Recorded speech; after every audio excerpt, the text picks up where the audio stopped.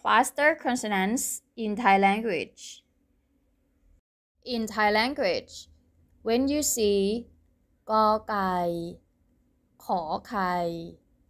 ตอเต่า ปอปลา พอพาน ผอพึ่ง combine with รอเรือ ลอลิง วอแหวน roru. The sounds will combine and read it together. But the tone will not change from the first consonant's rule.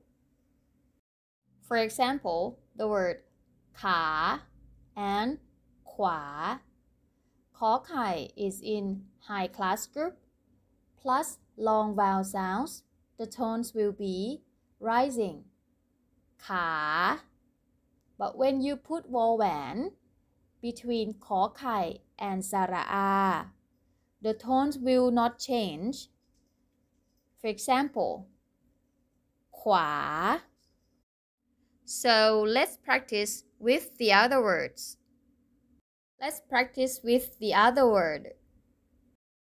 กอบ กรอบ แขน แขวน ขา ขวา คู ครู กับ กลับ คาย ควายปลา ปลา ผี ผลิคอด คลอด เพราะ เพราะ Next. ครอบครัว เครื่องดื่ม เปลี่ยนแปลง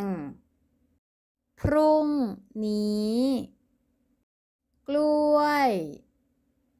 เกรงใจ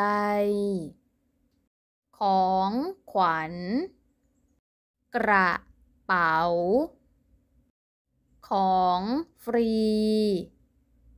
พริกไทย สัก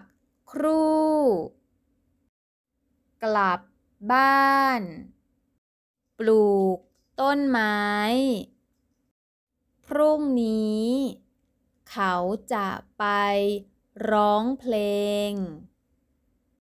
ครู ความรู้มาก เขาซื้อกระเป๋า เป็นของขวัญ ให้ครอบครัว Next. พรุ่งนี้ ครอบครัวป้าไก่ จะไปเที่ยวทะเล ครั้งแรก ป้ากุ้ง เตรียมอาหาร เครื่องดื่ม และผลไม้ ไปทานด้วย ทุกคนตื่นเต้นมาก สามีป้าไก่ ต้องตื่นแต่เช้า เพื่อเตรียมรถ ครอบครัวป้าไก่ ออกจากบ้าน ตั้งแต่เช้า ไปถึงทะเล ประมาณบ่ายสามพอไปถึงทะเล ทุกคนก็ดีใจ ทะเลก็สวย อากาศเย็น ทุกคนก็มีความสุข